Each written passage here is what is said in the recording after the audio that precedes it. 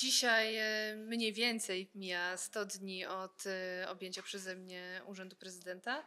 E, Na wstępie chciałabym bardzo podziękować wszystkim osobom, których pomoc doprowadziła mnie w to miejsce, ale również wszystkim pracownikom Urzędu Miasta i jednostek pomocniczych podległych, którzy z, razem z nami udali się w tę podróż i razem z nami pracują i współpracują.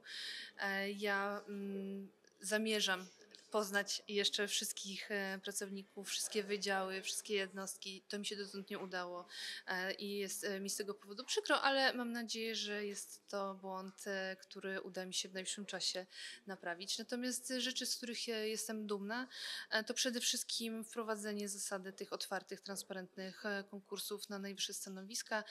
Tutaj muszę wspomnieć o tym, jak pani wiceprezydent Oktawia Gorzeńska fantastycznie wprowadziła nową jakość do konkursów e, dyrektorów placówek oświatowych. Chcę powiedzieć, że tych konkursów przeprowadziliśmy już 13 w nowych e, warunkach. E, Są to konkursy z udziałem publiczności e, i do tego stopnia jest to wzorzec transparentny i ciekawy, że na ostatnich konkursach pojawili się przedstawiciele gminy, miast ościennych, żeby zobaczyć, jak można taki konkurs przeprowadzić w sposób uwzględniający taką nową jakość.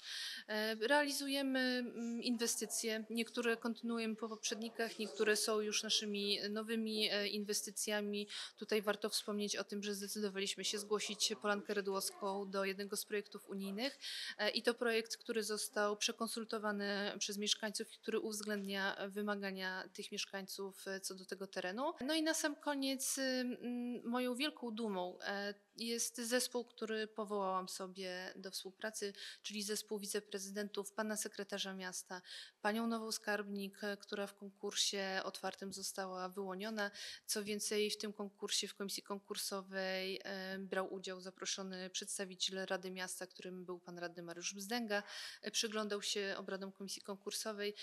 No i nie mogę zapomnieć o panu mecenas, mecenasie Marcinie Zawiszy, który objął funkcję koordynatora zespołu radców prawnych. Jest to mecenas, który pracował już dla Urzędu Miasta i tutaj pan mecenas jako koordynator czuwa nad naszym bezpieczeństwem prawnym e, w sposób e, no, bardzo e, zaangażowany i merytoryczny.